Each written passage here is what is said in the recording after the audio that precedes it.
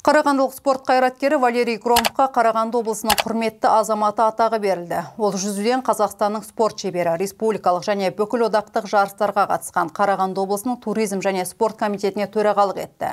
Жетістіктер үшін жүзуден Қазақстан Республикасының еңбек сіңірген жаттықтырушысы атағына да ие болған.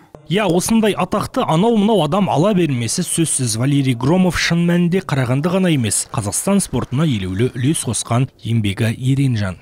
2000 год 2000 жылдары 17 балалар спорт мектебін аштық. Әр спортқа жеке-жеке үйірмелер берілді. Ғалым жарылғапов сынды даңқты тұлғалар армандап кеткен мектептер іске қосылды.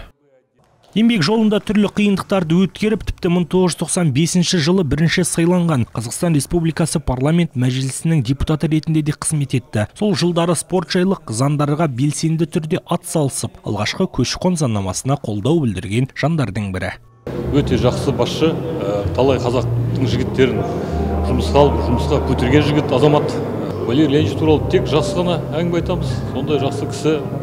Жетпіс жасқа келген жанның бұл мерейтойына жан жақтан жағымды тілектерін арқылап валерий громовтың достары жиналды. Мерей жасқа келген даңқты тұлғамыздың мерейін үстем етіп есте қалар ерекше сыйлық табысталды. Разрешите одеть